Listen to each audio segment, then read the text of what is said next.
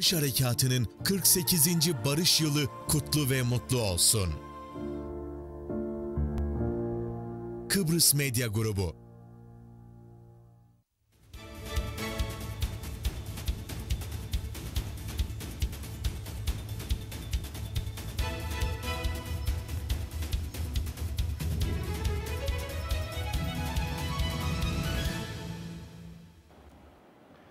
Bir 20 Temmuz günü sizlerle birlikteyiz değerli izleyiciler. Bugün Barış ve Özgürlük Bayramı'nın 48. yıl dönümü. Kutlu olsun. Kıbrıs Türk halkının en büyük bayramı. Çünkü 15 Temmuz 1974 darbesiyle uçurumun kenarına gelmiştik. Ada Enosis ilan edilecek ve de burada Kıbrıs Helen Cumhuriyeti kurulacaktı. Zaten EOKACı Nikos Samson 15 Temmuz darbesinin başarıya ulaşması ile birlikte ilk konuşmasında burası Kıbrıs Eren Cumhuriyeti diye hitap etmişti. Bu bakımdan görünecek, gidilecek köyün minarelerini de göstermiş oldu. Ya o uçurumdan yuvarlanacak ya da ayağa kalkacaktır. Tüm gözler Toroslardaydı. Anavatan Türkiye bu kez müdahale edecek mi diye. Ve işte o tarihi gün gerçekleşti. Bu yönde Türk hükümetinin iradesi ortaya konuldu. Bu iradeyi gösteren merhum Başbakan Bülent Ecevit ve Başbakan Yardımcısı Necmettin Erbakan'ı bu vesileyle tüm şehitlerimizi bir kez daha rahmetle anıyoruz. Ruhları şad olsun. Evet, bir yer 20 Temmuz günü o günleri yaşayanlardan birini bulalım dedik ve sevgili dostumuz, emekli öğretmen, TMT mensubu, mücahit, bu topluma yıllarca hizmet etmiş olan Sayın Mahmut Topçu. Hoş geldiniz. Teşekkür ederim. Hoş bulduk. Yine mutlu bir gün yaşıyoruz. Evet. 48 yıl önce büyük sevinçle karşıladığımız Barış Harekatı'nın 48. yıl dönümündeyiz. O günleri tekrar yaşıyoruz. İnşallah Kıbrıs Türk'ünün bu mutluluğu her daim devam eder. Söz sizde. Evet ben e, Yani emek o günleri bir canlandıralım böyle hoca. elbette ve emekli ilkokul müdürü ve aynı zamanda e, mücahit Mahmut Topçu Sönmezler 30 Ocağı Sönmezler Ocağı'nın da yönetim kurulundayım. Evet. Evet. e, dün hatırlarsanız Sayın Bülent Ecevit'e e, saygımızı bir kere daha belirtmek üzere Orada e, bulunduk. Göç, Evet. Göçmenköy'deki heykel önünde buluştuk eski arkadaşlarımızla birlikte ve ona saygımızı, sevgimizi bir kere daha belirttik. Gerçekten bu bizim e, yapmamız gereken bir vefa borcudur. Pek tabii. Şimdi 20 Temmuz'u bir hatırlatmak istiyorum ben. O günü nasıl yaşadım? O günlere Yani nasıl geldiğimizi Uşaklara böyle mesajlar vererek o günleri anlatır mısınız? evet. Yıllarca mücahitlik yaptıktan sonra 30 Ağustos 1971'de Geçitkale taburundan terhis oldum. Ve hemen Eylül ayında da e, tatlı sulular listeyi üzerine Geçitkale derken güneyden Güneydeki kalan Geçitkale? Köhünye kaldı ki Geçitkale- aynı Geçitkale'de Geçitkale Boğaziçi çarpışmalarında da Evet. takım komutanı olarak bulunmuş ve esir olmuştuk. Takımımda üç şehit vermişti. Allah rahmet eylesin şehitlerimize. Onlara e, vefa borcumuz vardır. Onlara layık olmaya çalışıyoruz.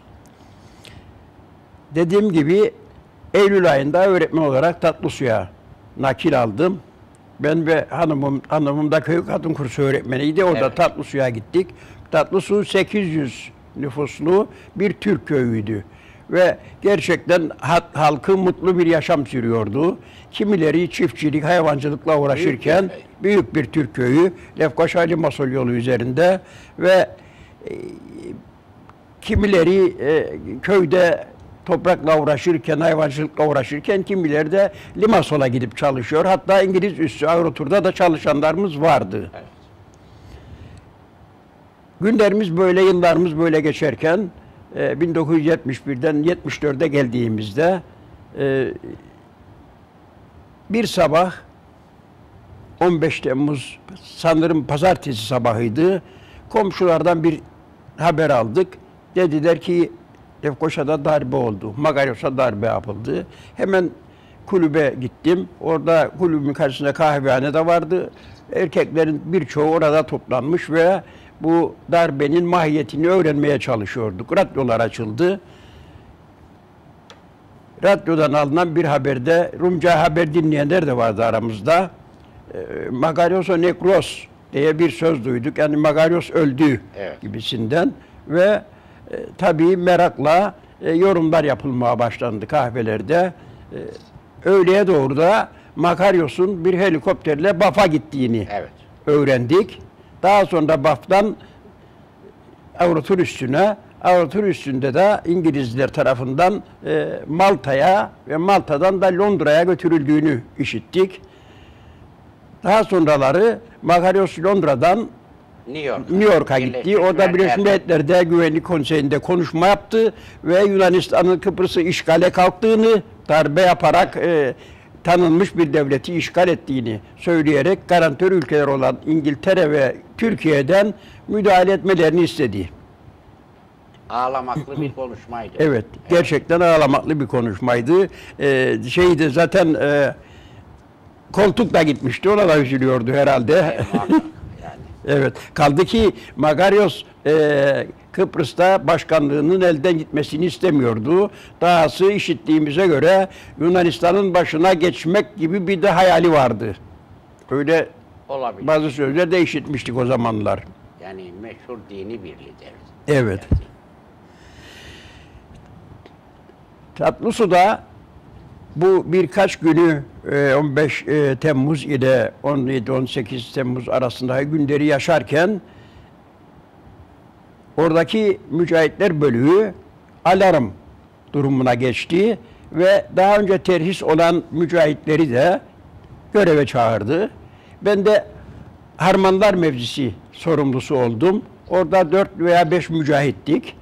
Ee, Harmanlar Mevzisi ile e, Terazi arasında Vasiliko Deresi geçer. Evet. Tatlısu'da Vasiliko Deresi ve Vasiliko Deresi'nin karşı yakasında bazı silahlı sivil Rumları görmeye başladık. Gözleri hep bizim taraftaydı.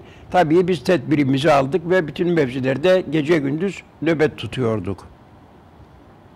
Ama yani daha e, ne olacağı belli Ne, olacağı belli değildi. Hala daha bir kararsızlık vardı ve biz de e, e, nöbet tutardık ama ne olacağını da bilemiyorduk. Öylece gelecekte e, iki günler neler doğuracak bilemiyorduk. Darbe gerçekleşti ama sıra şimdi Türklere gelecek ne gün?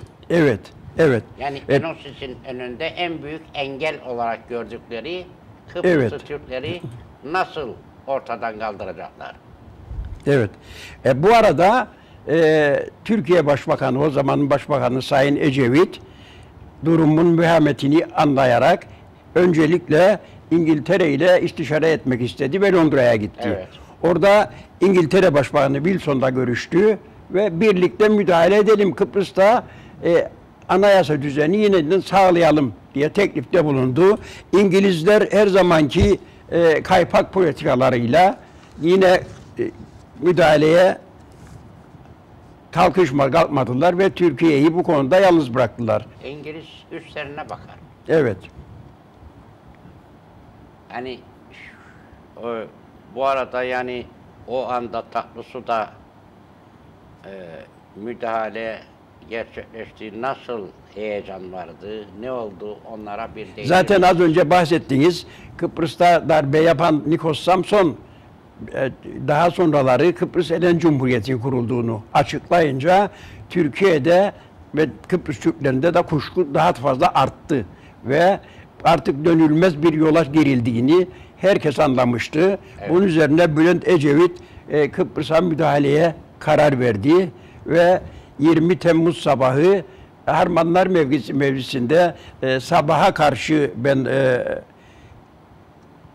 en üst tepedeki mevzide bulunuyordum. E, teftiş için dolaşıyordum Özkan Bey ile beraber ve Özkan Bey ile beraber dolaşırken terazi ile e, Avrutur arasındaki denizde üç tane savaş gemisi gördük. Evet. Böyle ikişer üçer kilometre aralıkla duruyorlar. Bir dördüncü gemide o gemilerden birinin yanına yanaşıp rampa vuruyor. Bir müddet bekledikten sonra diğer gemiye geçiyordu. Bunlar İngiliz gemileriydi. İngiliz savaş Hatırladığıma göre o sıralar Türkiye müdahaleye karar verdiğinde 28. endemin kuzeyini savaş alanı ilan etmişti. Dolayısıyla bu endemin hemen altında İngiliz gemileri dizilmişti. O çok önemli. Evet. Yani Ben o tepeden indikten sonra sabah saat 3'e 3 gibi falan kampet üzerinde uzandım, uyuyordum. Sabah güneş doğarken daha doğmadan arkadaşların, mevzi arkadaşlarımın bir sevinçle çığlıklar attıklarını ve bir transistörlü radyo tutan Ali sonuna kadar açmış radyoyu ve Sayın Denktaş'ın e, Kıbrıs'a müdahale barış harekatı mesajını, anonsunu veriyordu. Her Sevinçle tabii diye. ve Sayın Denktaş belki de Rumlara bir yanıltma olsun diye evet evet. Türk askerimiz, Mehmetçiklerimiz adanın dört tarafından Kıbrıs'a çıkarma yapmaktadır. Kahraman Türk, Türk, Kıbrıs Türk mücahidi nihayet beklediğimiz gün geldi diyordu. Ve biz tabii sevinçle bayram yapmaya başladık gerçekten. Evet. Böyle. Ancak e, o günü ve o akşamı böyle mutlu geçirdik. Ne var ki 21'inin 21'inin ikindi üzeri güneş batmadan Limassol tarafından 40 tane kamyonun geldiğini gördük. Askeri kamyon. O en üstte, üstteki tepeden arkadaşlar bize haber verdiler. 40 tane kamyon geliyor Limassol tarafından. Biz tekrar sevinç karşı, karşıladık bunu. Türk askeri geliyor diye. Halbuki maalesef gelenler Rum ve Yunan askerleriydi. Bu kar- 40 kamyon ve gelip e, Limassol yolundan e, Tatlısu'nun girişine girişindeki yolun ağzında durdular. Barış gücü cebi içinde iki tane görevliyi, barış gücü görevlisini bize köye gönderdiler. Teklif ne? Köyü teslim edin, silahları teslim edin. Biz tabiatıyla kabul etmedik, reddettik. İki barış gücü askeri ciple geri git- gittiler ve tabii karanlık çöktü İlettiler. ilettiler. Meğer gelenler yorgun askerlermiş. Onlar da arabaların içinde uykuya daldılar. Biz mevzilerde el tetikte sabaha kadar bekledik. Ve ertesi gün sabahleyin saat 9'da bu cip iki barış gücü görevlisi yine geldi. Yine tekliflerini yaptılar. Teslim olalım, al- olalım silahları verelim. Biz tekrar reddedince saat 10 gibi köyün üstüne sivil evlerin üzerine dahi havan topları yağmaya başladı. Bu Me- tatlı suda alıyor. tatlı suda, Evet. tatlı suda mevzilerimizi e, makine tüfeklerle dövmeye başladılar ve maalesef öğleye doğru köy düştü. Köye gi- giren Rum ve Yunan çapulcular ellerindeki makine tüfeklerle sokaklarda dolaşmaya başladı. Halkımızı ilkokulun avlusuna topladılar ve orada silahların teslimini istediler. Korkmayın size bir şey yapmayacağız. Ancak ne kadar silah varsa bize vereceksiniz dediler. Bizim o zaman bölük komutan muavinimiz vardı. Ee, Hasan Musa. Onun bir tabancası vardı ve bunu herhalde öğrendiler, biliyorlardı. Hasan Bey'den tabancayı istediler. Hasan Bey tabancayı tuvalet kuyusuna attığını söyledi. Rumlar emin olmak istediler ve Erkan diye bir şoför vardı. Kamyon şoförü bizim mahallede. Onu Lefkoşa'ya vidanjör getirtmek için gönderdiler.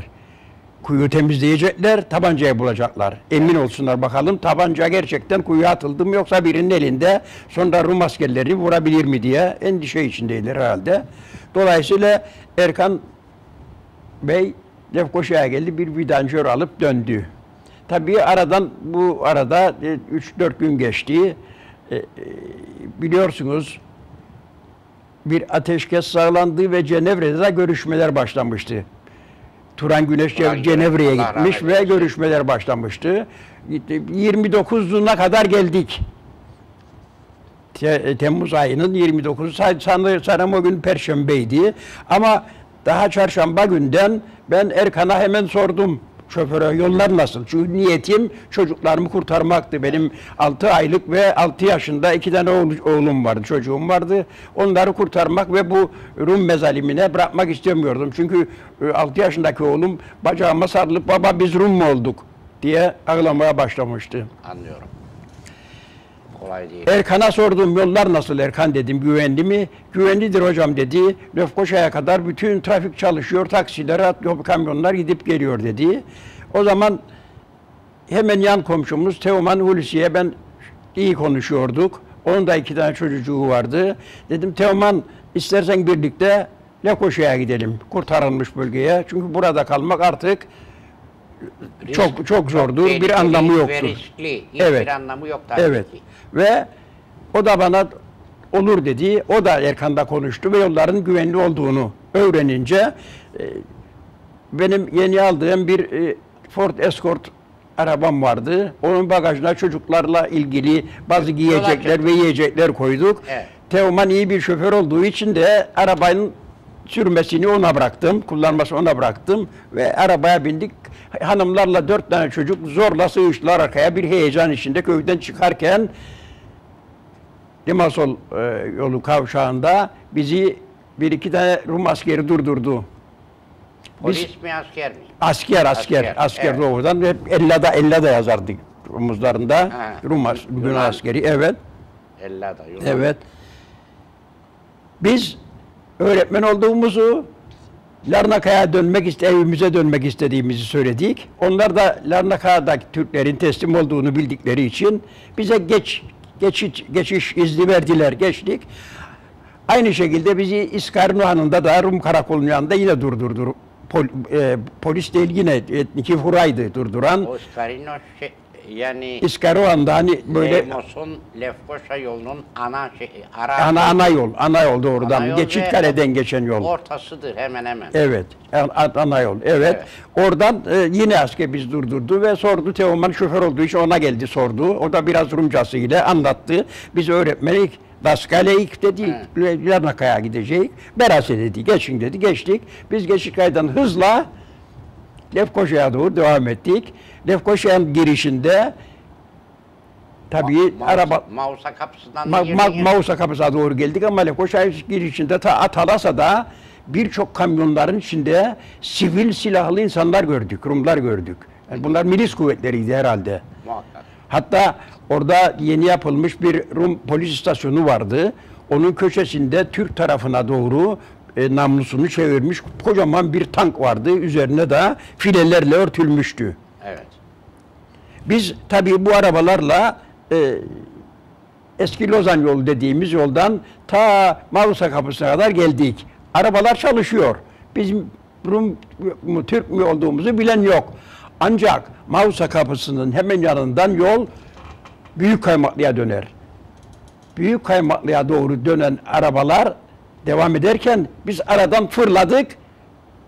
Türk tarafına geçmek. Türk- evet, evet. Çağlayan bölgesine, gençlik gücü tarafına gelmek istedik. Sinek bile uçmuyordu o bölgede. Evet. Biz hızla sürünce arabayı Teoman, Hisar'ın üzerindeki mevziden 3-5 tane Rum askerciyi bize bağırmaya başladılar. Ancak ateş açmadılar. Tabii biz varelleri gençlik Bizi gücü Rum sandılar belki. Bilemem, yani Türkiye bilemem. gidiyorsunuz? Ve Türk, ol, Türk olduğumuzu anlasalar bile Evet. fırsat bulamadılar. Çünkü biz bir dakika içinde o 200-300 metrelik yolu geçtik. Evet. Varelleri geçince gençlik yanında bir Türk polis bizi durdurdu. Ve dedi ki nereden geliyorsunuz? Dedik tatlı sudan. Böyle böyle. Tamam dedi polis bize. "E, git çocuklarınızı ailenizi yerleştirin. Polis karakoluna gidin tatlı suyun durumunu anlatın. Tamam öyle yaptık. Benim kayınpederimin e, kaldığı bir tek odalı bir yerleşkecik vardı. Orada kalıyordu. Hanımı çocukları oraya bıraktık. Gittik polise durumu anlattık. Ertesi günde ben e, Boğaz'a gittim. Boğaz'da Plevne bölüğü vardı. Evet. Ve Plevne bölüğüne katıldım. Orada pek çok askerler vardı. Mehmetçikler. Hatta Kayseri Hava İndirme Tugayı'ndan bazı askerciklerle buluştum. Böyle bir, hep gölgelere sığınmış, sığınmışlardı. Çok sıcak vardı. Her her ağacın gölgesinde 5-10 tane asker vardı. 20 Temmuz 74'te Evet. bu ay gerçekten şimdikinden çok daha Çok fazla. çok sıcaktı. Evet. Çok sıcaktı ve her ağacın gölgesinde 3-5 tane 10 tane asker vardı ağacın büyüklüğüne göre ve bana Kayseri Hava İndirme Tugayı'ndan bazı askerler abi dedi odağı aldık biz Rumlardan dedi. Beş parmağı gösterdi. Attık aşağıya onlar dedi. Biz çıktık oraya yukarıya dedi. Eğer dedi biz orada olsaydık dedi Amerikan asker, askeri bizi indiremezdi oradan dedi. Hiç unutmam o askerin böyle e, Allah iyiliklerini versin veyahut e, Yani ölmüşlerse Rum Allah rahmet eylesin. Evet Türk ordusu. şey. Evet. Evet. Türk ordusu Mehmetçikler işte hava indirme Tugay, e, Tugay e, Kayseri'nin o tepelere çıktı. Orada o beton mevzilerin içinden söke söke Rum askerini aşağıya attı veyahut birçoğunu teslim aldı. Kendileri de oraya oturdular. Aşağıya Aşağıya şey varmış orada. varmış, varmış öyle. e, Evet ve abi dedi biz orada olsak dedi bizi Amerikan ordusu gelse indiremezdi oradan dedi bana. Bravo dedim. Bu asker dedim hiç yenilmez. Evet. Ama Boğaz'da çok asker vardı. Giderek her günde çoğalıyordu askerler. Yani ikinci harekatın başlayacağı neredeyse belli gibiydi. Haberleri zaten alıyordunuz radyodan artık. Haberleri de alıyorduk. Cenevre'deki Orada zaten şeyler- askeri görüyorduk. Devamlı kamyonlar çoğalıyordu. Asker çoğalıyordu her gün. Şimdi orası artık çok tehlikeliydi. Yani insan bir Yunan uçağı bombalasa oraya Evet. Nitekim nitekim ikinci barış görüşmeleri oldu. Görüşmeleri başladığında e, Cenevre'de e, Türk e, Turan Güneş'ten 48 saat mi 36 saat mi ne izin istemişler. Evet. e, cevap vermek için. Bu tabii Türk askerinin e, hayati tehlikesi vardı Türk askeri için. Çünkü Rum'un ne yapacağı belli değildi. Yunan'ın ne, ne yapacağı belli değildi. Bakarsınız birkaç tane uçak gönderir ve yığın yığın onca askerimizi bombalarla şehit ederdi. Kenara sıkıştıydı bir Evet. boğaza. Bilhassa bilhassa e, Hamitköy'den, Haspolat'tan ta Şirin evlere kadar o bölgede binlerce asker yığılmıştı. Onun için e, ikinci bari harekatı da kaçınılmaz olmuştu. Evet. Peki tamam. yani şimdi o günleri yaşayan bir kişi olarak Pardon. Evet. Bunları görmeyenlere tavsiyeleriniz özür dilerim. Nelerdir? Ne önerirsiniz? Yani bu acıları çektik, ettik Evet. bunca yıl. Kıbrıs Barış Harekatı'nın sonuçlarına gelince ben e, yaşadığım kadarıyla şunları biliyorum. Öncelikle Kıbrıs Türkleri yok olmaktan kurtulmuştur. Çünkü biz o Yunan cuntasının buraya gönderdiği askerlerle Kıbrıs etniki furasına karşı koyacak durumda değildik. Zaten hatırladığımız bir şey vardı. Magaryos dahi Türkiye'ye müdahale ederse Kıbrıs'ta kurtaracak Türk bulamayacak Evet. demişti. Bu hatırımızdadır. Dolayısıyla e, Kıbrıs Türk'ü gerçekten bu barış hareketiyle yaşamını sürdürmeye devam etmiş ve dahası e, güvence altına alınmıştır. Yalnız bu barış harekatı bize değil, yalnız Türk, Kıbrıs Türklerine değil, Yunanistan'a da ve Kıbrıs Rumlarına da demokrasi ve barış getirmiştir. Evet. Bunu artık Rumların herhalde anlaması, bilmesi lazımdır. Dahası Doğu Akdeniz'de Doğu Akdeniz'de Türk ve Yunan dengesi bozulmamıştır. Yoksa eğer Kıbrıs elde giderse Doğu Akdeniz'deki denge Yunanistan lehine bozulacaktı. Böylece barış hareketi sayesinde Türkiye'nin güney sahilleri de güvence altına alınmıştır. Bildiğimiz kadarıyla e, o zaman Sonun yerine geçen e, Gliridis, Sayın Denktaş'la bir nüfus mübadele anlaşması yapmış. Güneyde kalan Türkler barış gücüyle kuzeye taşınmış. Kuzeyde mahsur kalan Rumlar da yine barış gücü ile güneye taşınmıştır. Böylece iki bölgelilik kabul edilmiş ve imza bir anlaşma ile imzalanmıştır. Hal böyleyken bugün niye göçmenler geri dönmek istiyor? Ben bunu anlayamıyorum. Yani nüfus mübadelesi. Evet, nüfus mübadelesi yapılmıştır. Gıyri de Sayın Denktaş arasında. Değil mi? Kaldı ki Birleşmiş Milletler kendileri e, arta kalan Rumları ve Türkleri kendi bölgelerine taşımışlardır.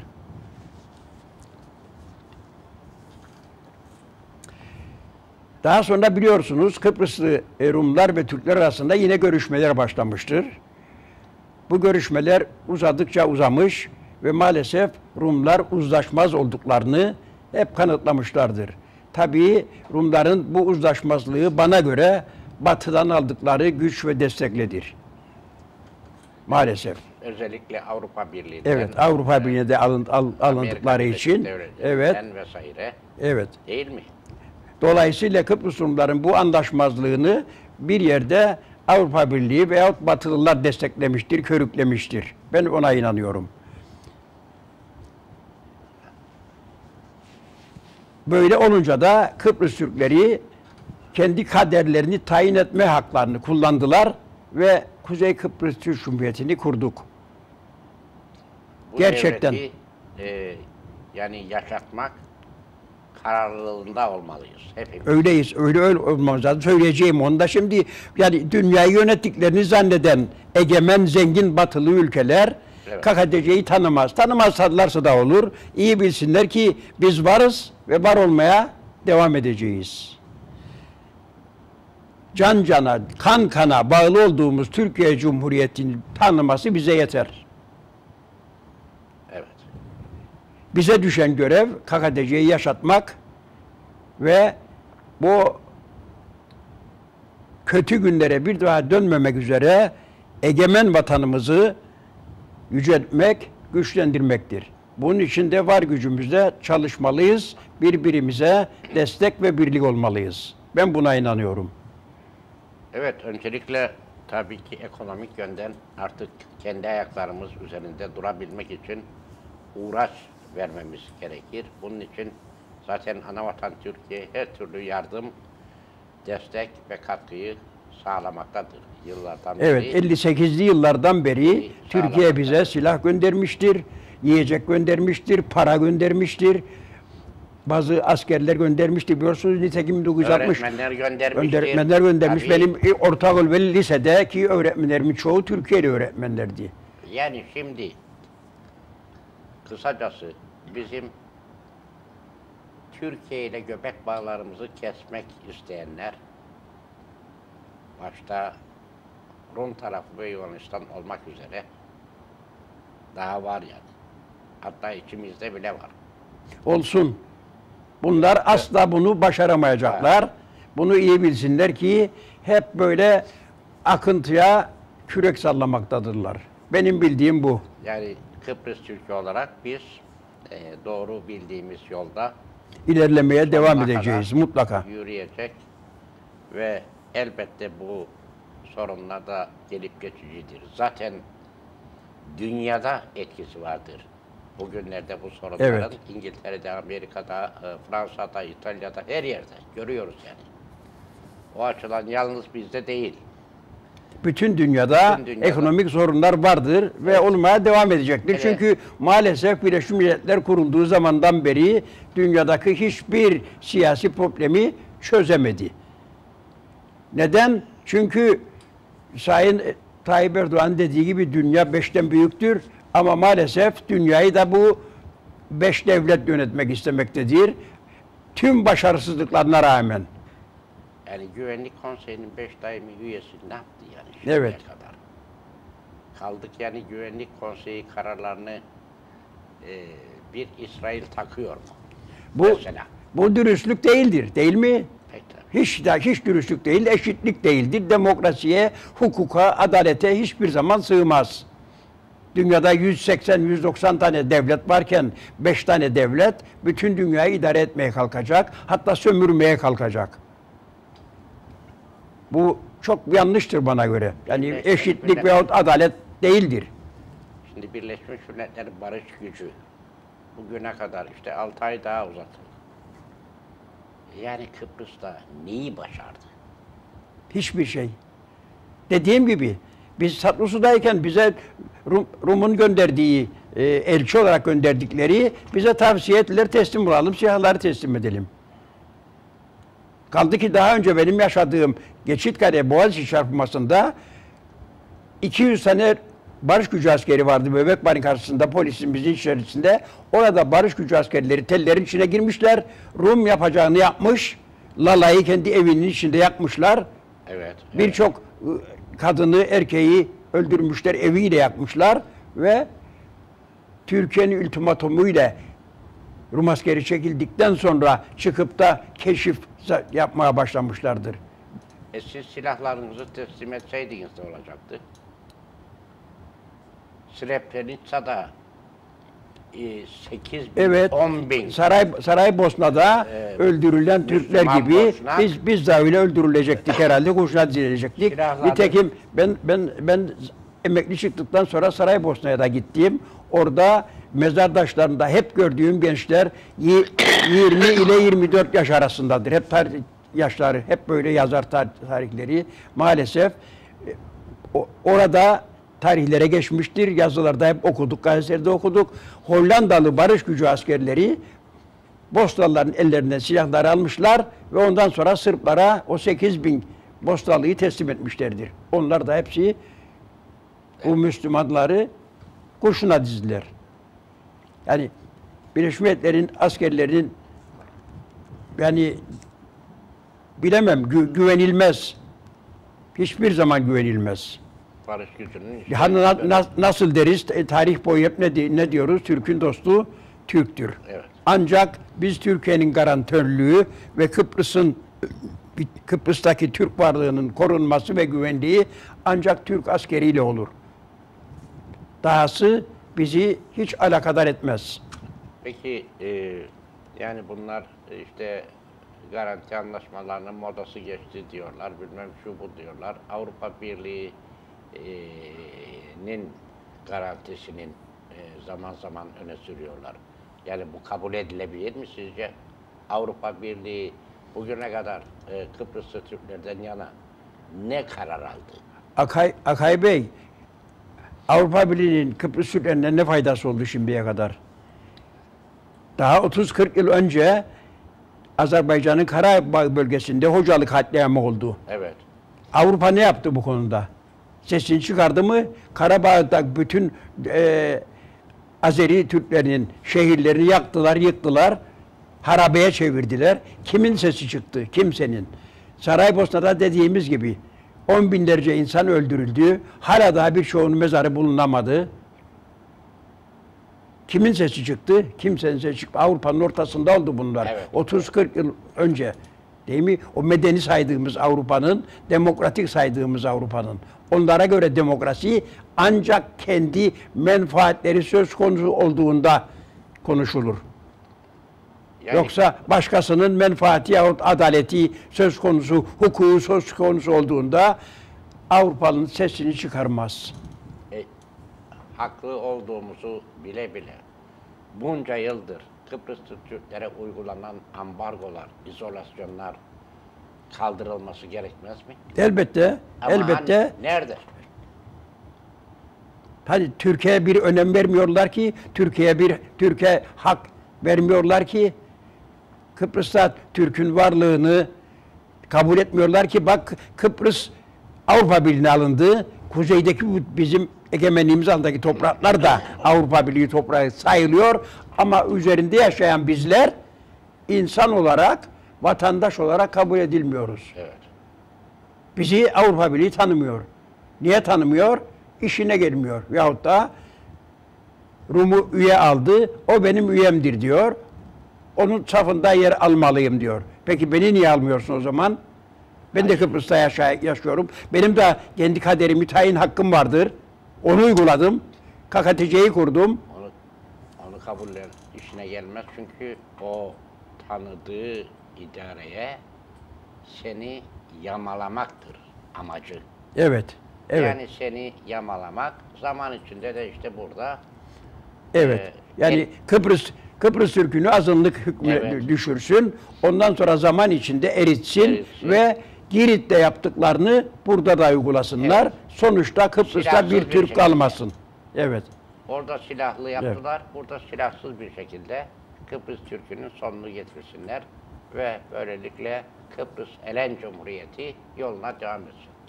Kıbrıs Türk'ü Ya- yalnız yalnız Kıbrıs Türk'ün yok olması değil. Türkiye ile Kıbrıs arasındaki denizde ve Türkiye sahillerindeki güvenlik de kalmayacak. tabii. Yani o zaman Türkiye açısından da bu çok önemlidir. Türkiye'nin Doğu Akdeniz'deki söz hakkı Evet. Şimdiki gibi böyle yürekten değil, işte o balıkçı tekneleri falan oralarda balık avlayabilir Evet, mi, bunu- avlayamaz mı? Bak bunu Ege bölgesinde yapıyorlar şimdi. Evet. Ege bölgesinde adaları 2. Dünya Savaşı'nda Yunanistan'a verdiler. Tüm adaları. Bütün Ege Denizi'ndeki o 300 kadar ada Yunanistan'ın elinde olduğu için kıta sahanlığı da onun, hava sahası da onun. Ha Türkiye kendi kıyılarında 1-2 kilometre içinde kalsın ama gem, gemi yüzdürmesin. maalesef anlaşılır değil, bu kabul edilebilir değil. öyle ama maalesef işte o zamanın e, acı gerçeği bunlar. Hiç olmazsa bundan sonra olsun Türkiye'nin bu konulara daha fazla önem ve ağırlık verdiğini, vereceğini görüyoruz değil mi? İşitiyoruz. Bu konudaki kararlılık gerçekten bizi de memnun etmektedir, cesaretlendirmektedir. Çünkü e, Kıbrıs Türk'ü olarak burada yıllardan beri Osmanlı'nın bu ülkeyi terk ettiği günden beri mücadelemizi şu veya bu şekilde sürdürüyoruz. Rumlar da biz de. Onlar Enosisçi. Biz ise hiç olmazsa burada yani başımız dik, alnımız açık, hür insanlar olarak yaşayalım diye. Evet. Ben bir şey daha söyleyeyim Cemal Bey. Buyurun. Ee, ortaokul yıllarından beri bu Kıbrıs meselesinin içindeyiz, yaşıyoruz. Daha 14-15 yaşında çocuktuk. Larnaka'da e, nümayişler olur, e, mitingler olur. Lefkoşa'da mitingler olur ve bu mitinglerin birçoğunda ben bulundum. Hatırlarsınız Kıbrıs Türktür, Türk olacaktır diye bağırır çağırdık mitinglerde. Bir müddet sonra hatırlarsınız yine Kıp ya Taksim ya, Ya ölüm diye bağırıp ya çağırmaya başladık. Evet. Evet. O, o da olmadı. Arkasına Barış Harekatı ile Kıbrıs'ın üçte birine sahip olduk ve onu da bize çok görüyorlar maalesef.